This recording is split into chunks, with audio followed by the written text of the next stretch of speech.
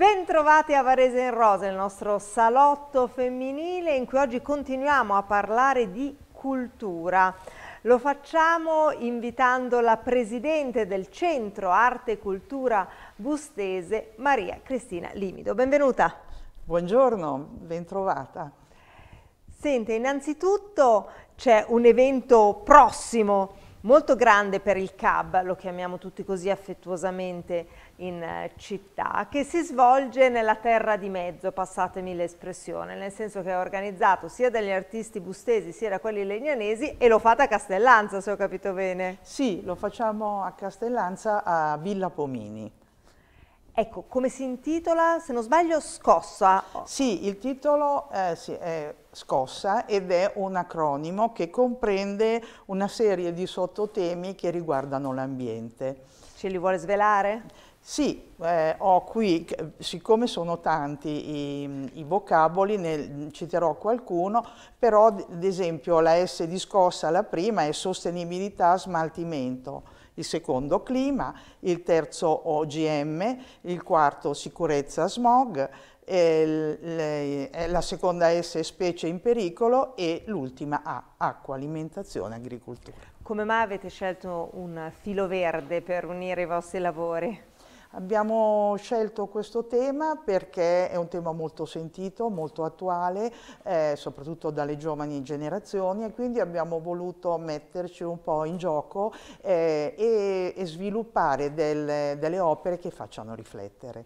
Ecco, ma ci sono poi tanti giovani tra le vostre fila oppure l'arte ormai è un po' più una nicchia per una certa età, come si diceva una volta? Eh, il rischio è un po' questo, diciamo, però noi eh, abbiamo la fortuna di avere anche dei corsi per cui, che sono frequentati anche da giovani allievi e, e quindi ci riteniamo un po' fortunati e poi promuoviamo anche delle visite guidate per le scuole.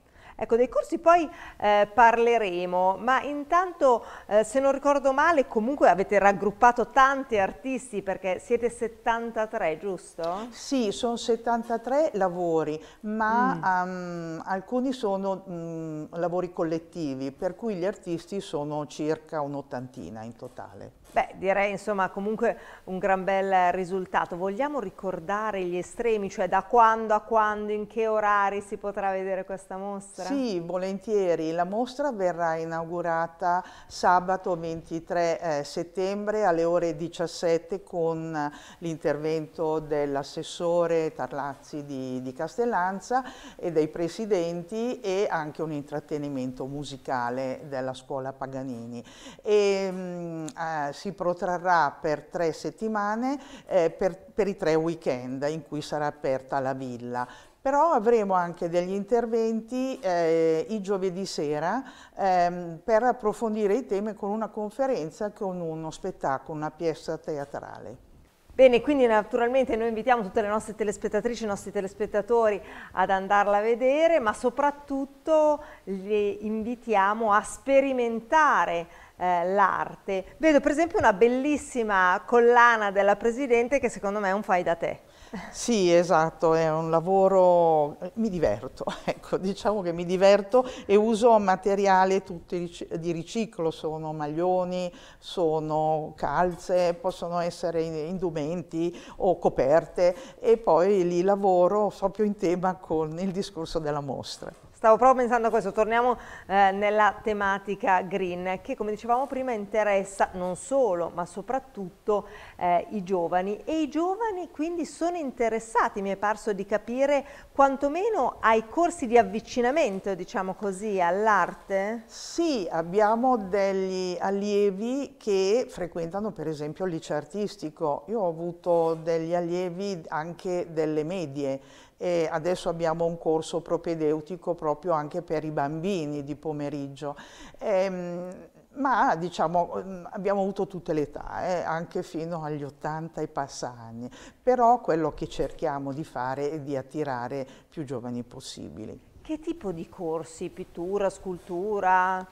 E abbiamo una gamma molto vasta di corsi che vanno dal disegno alla, alla pittura, declinata in tutte le sue eh, tecniche, diciamo, e, e, poi abbiamo la ceramica, abbiamo la vetrata artistica, l'intarsio ligneo, ehm, abbiamo l'arte alternativa, eh, abbiamo anche dei corsi di eh, scrittura di scrittura mh, propedeutici e una, un corso proprio sul romanzo e racconto. E ai bambini che cosa fate fare? I bambini eh, diciamo che è una specie di tra virgolette, dopo scuola una, diciamo una palestra di introduzione all'arte dove ci sarà un, un, docente che è specializzato proprio nell'insegnare arte al, a, ai ragazzi, ai bambini. e questo visto con una novità, magari diciamolo dove si terrà? Si terranno eh, nella nostra sede che è a Busto, eh, nel plesso delle scuole Bossi, nel eh, cortile e quindi le scuole Bossi sono vicino alle poste centrali e noi siamo al primo piano. Beh, questo insomma è interessante come prospettiva perché sicuramente è qualcosa di nuovo, ma io mi domandavo mentre parlava, ma c'è qualche arte che dalla vostra esperienza è più prettamente femminile, qualche altra più prettamente maschile o l'arte non ha genere? Guardi, io mi sento proprio di dire, io faccio arte tessile, no? quindi che è prerogativa femminile, no? eh, però devo dire che ci sono degli artisti uomini bravissimi anche in questo campo, per cui l'arte è davvero per tutti. E per quanto riguarda l'età? Per, l'età è chiaro che eh, diciamo, c'è un target di persone che eh, lasciando magari eh, il lavoro hanno più tempo e quindi eh, si dedicano a quello che magari durante la vita non sono riusciti a coltivare. Però siccome i nostri corsi sono serali c'è tanta gente che lavora e tanti anche ragazzi. Ecco, anche in questo caso i ragazzi hanno una propensione eh, particolare per qualche tipo specifico eh, di forma d'arte oppure è trasversale? I ragazzi sperimentano, vogliono proprio sperimentare, quindi magari partono con la pittura, ma poi arrivano al materico, passano alla terza dimensione, cioè sono molto, molto creativi. Allora, per chi non lo sapesse, il CAB esiste dal 1977, allora mi domandavo eh, com'è cambiata la percezione dell'arte nella società, in particolare ovviamente nella società bustese, dal vostro eh, osservatorio privilegiato? Ma eh, diciamo che l'arte una volta era, uh, una, era considerata un po', un po', di nicchia, no? quindi eh, i pittori erano pochi, pochi e molto conosciuti e tra cui ci sono i nostri eh, padri fondatori. No? Vogliamo ricordarli magari? Eh, sì, ad esempio Rocco Preite che è mancato da poco, eh, Silvio Crespi che parteciperà con un'opera bellissima a questa mostra, ehm, Beluffi, eh, insomma erano un bel gruppo, Albarelli che è stato presidente per tanti anni ed è ancora un nostro socio e ehm, diciamo era un, un po' patrimonio di, di, di poche persone. Eh, poi lentamente eh, diciamo più persone, forse anche con il fatto che le persone hanno orari diversi nel, nel lavoro e quindi riescono a ritagliarsi un po', un po il tempo, eh, è proprio emersa questa voglia di fare, mh, mm, di fare arte. E anche forse il fatto che la terza età è sempre più attiva, no? per fortuna, sì. eh, e quindi insomma dicevamo ci sono eh, magari tante persone, non so, mi dica lei se più maschi o più femmine in questo caso, che finita